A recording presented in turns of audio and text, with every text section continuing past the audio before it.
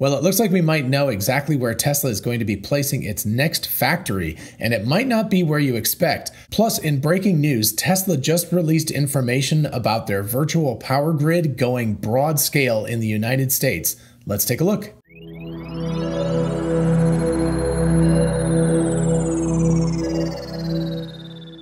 Hey y'all, it's Dr. Know It All. So, first of all, I'm about to go on vacation, so you're going to see me in a different locale. I'll I won't even tell you where it's going to be, but you'll you'll know from the background as soon as you see videos from there. So, anyway, expect a little less editing, a little more cool background than this stuff back here. And second of all, I had a whole other video planned that I'll probably just wait and do next week. It's more of a a thinking kind of thing and less breaking news. But anyway, I think it's important, but I wanted to put that aside because I think there's two important pieces of news today today. The first one is that we might know where the next Tesla factory is going to be, and it's in Mexico. So, this news is being broken by Torque News, and I will put a link to this in the description. I'm not going to go through it. It's a four minute video, and it says that this new factory is going to be in Milenio, Mexico. So, let's take a quick look at where that is. This is actually from one of my Patreon patrons, did the screen grab, so I appreciate it. It's in kilometers. This is a, a 640 kilometers between Milenio and Austin, Texas, which is about 400 miles, which conveniently happens to be within the range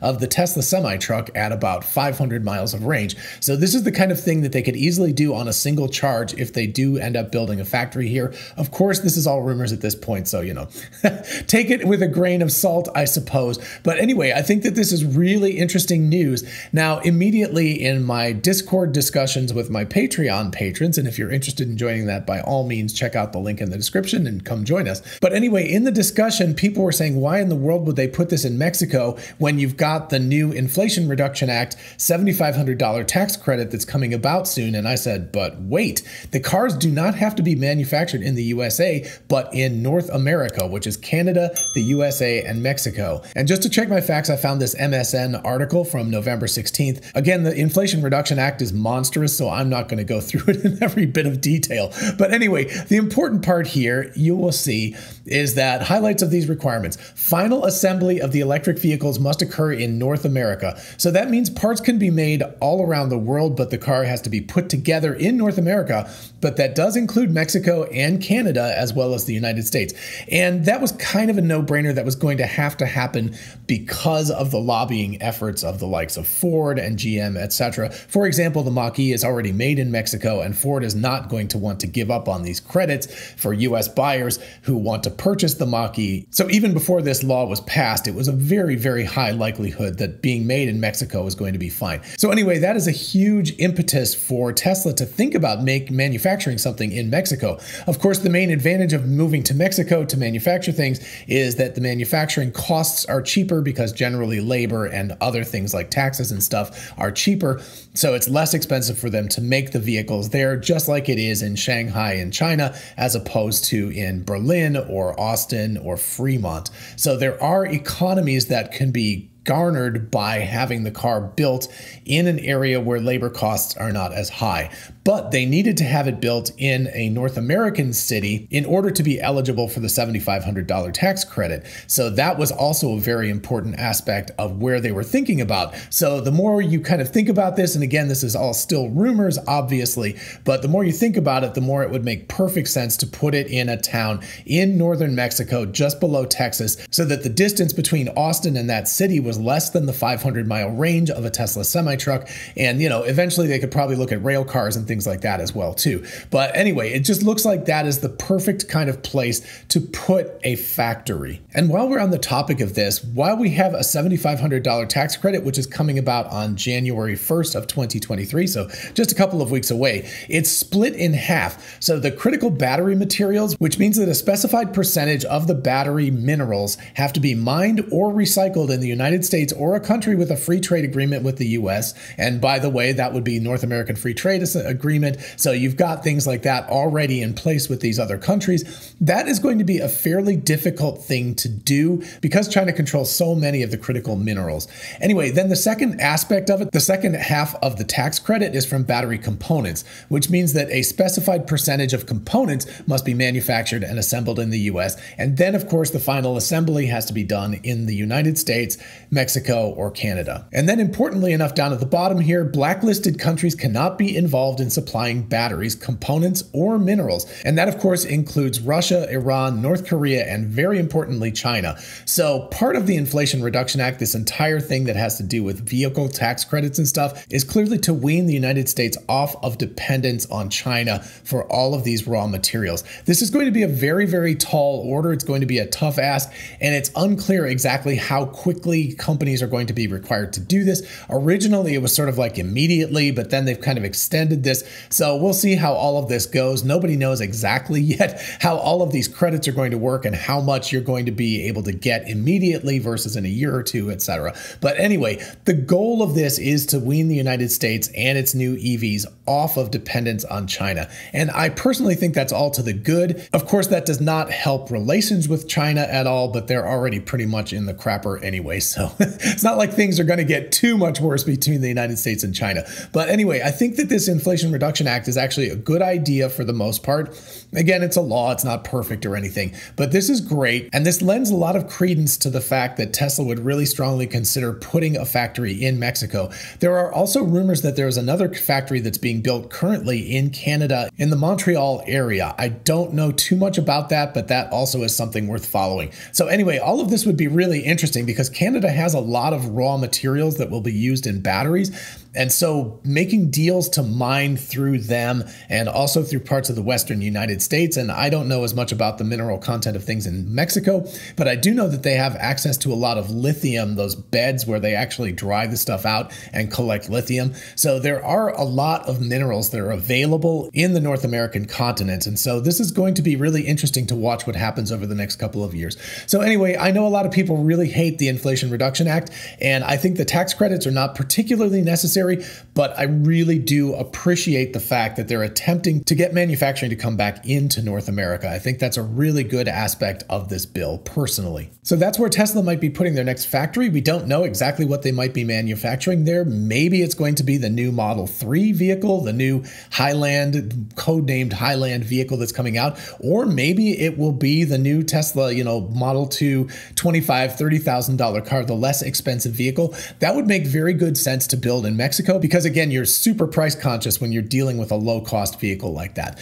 But that takes us to this breaking news. There was a tweet from Tesla, like literally as I was sitting down to do this episode. And this is actually really, really exciting. I'm going to read this through with you so you'll get my reactions to things live as we go.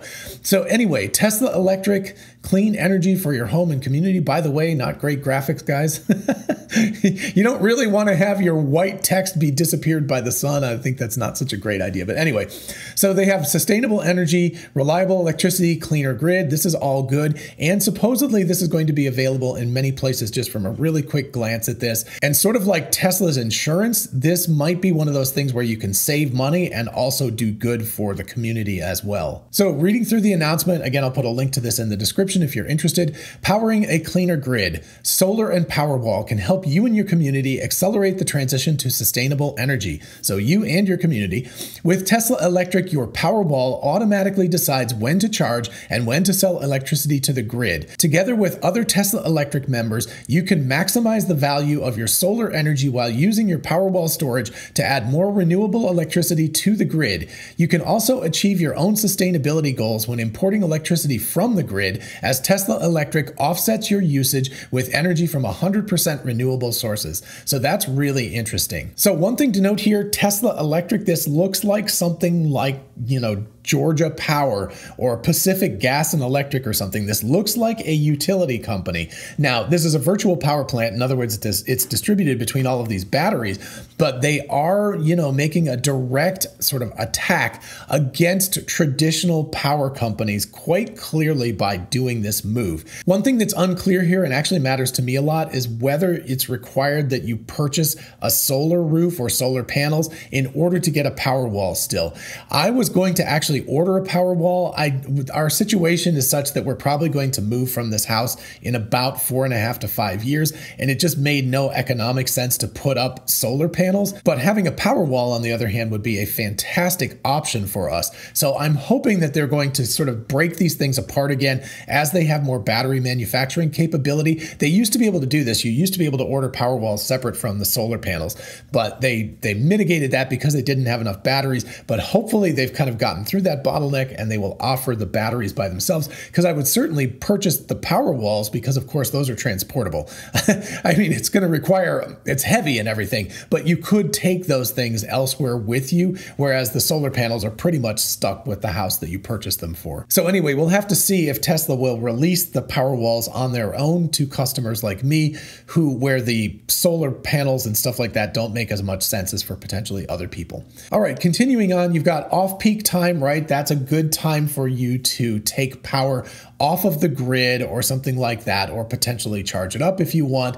And so you actually utilize that power as the it is cheaper and as there is more capacity available, because of course, you know, power plants generate power over broad amounts of time. And then during peak demand, which is usually the afternoon and the evening, especially in summertime, that's when you can push the power back onto the grid again. And what you can do is energy arbitrage, which means you buy at a low price, right? You charge up the batteries when the price is low. Then you sell the electricity back when the cost is high. And so you can actually mitigate your electric charge. So this doesn't necessitate having a solar panel on your roof or anything or having a solar roof. In that case, you could actually generate, you know, pretty much almost completely free and then sell off excess that you have. But even if you just have the power wall, you can help to load balance because you can take energy up when there is more energy generation from the power grid than there is usage, which is generally at night. And then you can sell it back during the daytime. So you can help to load balance the, the main grid, you know, not just the virtual power plant, not just your local area, but the main power grid that you're using. You can help to load balance that and at the same time make money off of trading by purchasing at a low price and selling at a high price and reduce the cost of your electric bill. That's the basic shtick that we're talking about here for Tesla Electric. And finally, we get to the bummer because this is only in Texas as far as I know at this point. Now, hopefully, just like with Tesla insurance, this will roll out to more places in the US and then eventually the rest of the world. But anyway, let's go ahead and read. If you're a Powerwall owner with retail choice in Texas, which I guess means you can choose which power company you want, you can save on your electricity bills. You earn credits towards your bill when you contribute energy stored in your Powerwall to buffer the grid. As a member, you can also monitor the sources of your electricity supply 24 7 in the Tesla app and ensure that any electricity you use from the grid is offset with 100% Texas generated renewable energy. Interesting little twist to this whole thing. On average, Tesla Electric members have the potential to earn over 50% more in credits on their electricity bills compared to similar plans. So, Texas is a weird, weird place. In most of the rest of the country, and it might actually stall out rollout of this to places like Georgia, there's kind of a monopoly. Like when I moved into my house, I had to go with Walton EMC. That was my only choice because they sort of own this area, right? These companies have these monopolies or fiefdoms in particular areas in a given state or in a given part of the country or something like that. So there is no choice. So it will be more difficult for Tesla to break into these areas, but Tesla's kind of a free for all. And it's one of the reasons why people had like $3,000 electric bills back during that horrible storm in the spring of 2021, I think it was, or 2020. Gosh, I don't remember. It's been so long, I can't remember what year it was. But anyway, when everything got really, really bad and everything froze, they just went crazy and charged these massive electric rates, which they're not allowed to do here because it's all very, very tightly controlled. But anyway, Texas is a good place for Tesla to start in that case because retail choice means that customers can actually choose from different electricity providers, which means that then they can actually utilize these power walls and use Tesla's virtual power plant in order to make electricity themselves and to sell it back and to get a bunch of credits and to save a bunch of money. So then we've got, you know, an example of this from the phone app. You can see now they're selling at 32 cents a kilowatt hour and they purchased it much, much lower than that, maybe a few cents cents a kilowatt hour. So anyway, it's they've got they're making a lot of money on this by selling high and buying low. And then of course the real genius of this is the software that's behind this. Sell high, earn more. Tesla tracks energy prices in real time and sells your excess electricity to the grid when prices are high, earning you credits on your bill. So basically they're they're kind of a back end to this whole thing and without you having to think about it, they're purchasing energy for you at low rates and then selling it back at high rates, which means that you get credits so your energy bill goes down. And then, interestingly enough, fully integrated, manage your entire Tesla ecosystem in the Tesla app, review your usage, monitor your buying and selling rates, and more. So the Tesla app is getting to be quite the app, and I have a feeling that we're going to see more and more things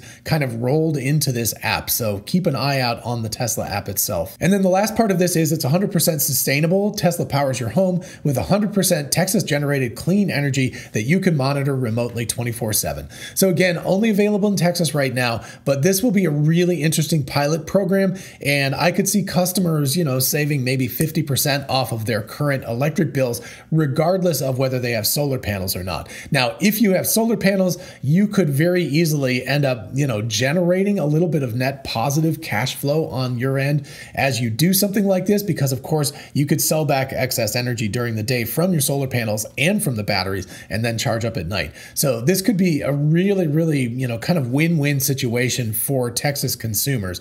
And hopefully over time, there will be some relaxation of the laws in the rest of the country so that Tesla will be able to roll this out to other states like Georgia, where I am. I would dearly love to purchase Powerwalls in order to be able to do this sort of energy arbitrage. And honestly, even without that, I would still like to be able to purchase it because the high rate times are four times more expensive than the low rate times. And if I never had to actually you know use electricity during the high rate times because I could pull it off of the batteries, that would end up saving a lot of money and probably end up paying off the Powerwall in probably five or six years. So that would be really, really cool. All right, so big news on the Tesla factory front and the Tesla electric front. Tesla looks like they're going to be building their fifth factory, their fifth major factory potentially in Mexico, and they're trying to become a competitor in the electric power company space. Let me know what you think about this. Of course, the Mexico factory thing is still a rumor, but Tesla just announced the thing about the virtual power plant, so that's definitely happening. If you happen to live in Texas, definitely let me know if you're planning on purchasing this when it's available. In the meantime, I hope you enjoyed this episode and found it fun and interesting and thought provoking. If you did, please do like it so other people can find it.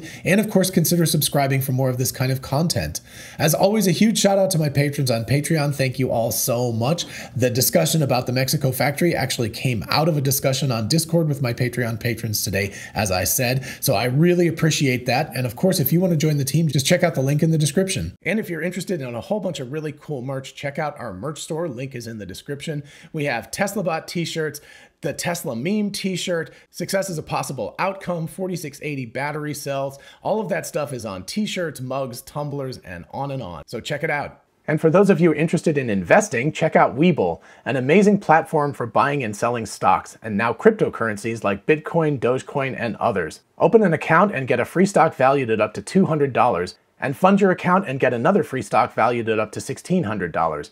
Check out the link in the description and help the channel at the same time. Thank you. And finally, don't forget we are both Tesla and Amazon affiliates. If you look in the description, you can see how going shopping for a solar roof, a power wall, or anything on Amazon helps out the channel. In the meantime, I'll see you in the next one. Bye bye.